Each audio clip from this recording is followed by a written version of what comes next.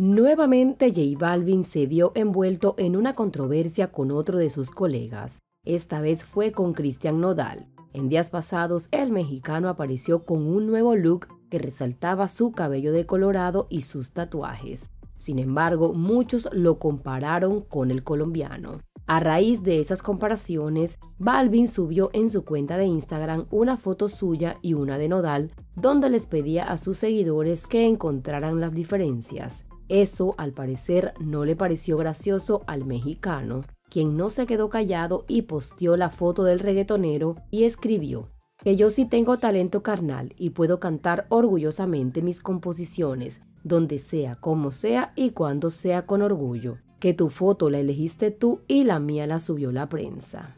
A raíz de esa situación se generó toda una polémica en las redes sociales con un va y viene de indirectas entre ellos. En medio de esa situación, el ex de Belinda lanzó su canción Girasol con la que ataca fuertemente a J Balvin.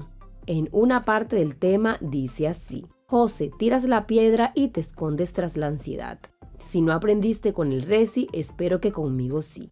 Tú eres un chiste cada que intentas cantar, cada que intentas rapear, cada que intentas rimar. Para dar mensajes, mijo, hay que ser coherentes. Si tú no eres artista, al menos sé prudente. Luego de haber sido lanzada esta canción por Nodal, el cantante realizó una presentación en Morelia, México, pero allí sorprendió a los asistentes al afirmar que se arrepentía de haber escrito esa letra hablando mal de su colega J Balvin. De acuerdo con sus palabras, ya había hablado con el artista para aclarar todo.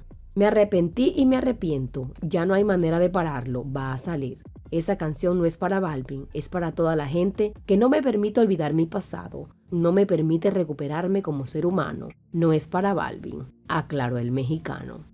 Y me arrepiento, lo siento mucho Balvin, a lo que J Balvin respondió y puso fin a la polémica que ha sido tendencia durante los últimos días. Obviamente no soy nadie para juzgarlo. Estaba pasando por un mal momento y yo hice mis chistes sin mala intención. Entiendo su punto de vista y aquí estamos en buena vibra. Paz, yo no soy nadie para juzgar y no soy el dueño de la verdad. Nunca lo seré.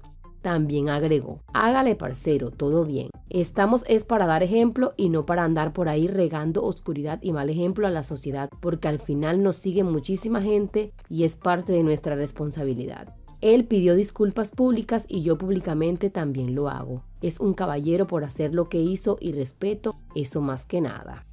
El parcero pidió disculpas públicas y yo públicamente también lo hago.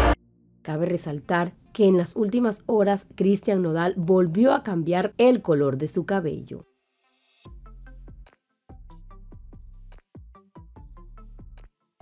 Ahora amigos, luego de ver el video, ¿qué opinas? Para nosotros tu opinión es muy importante.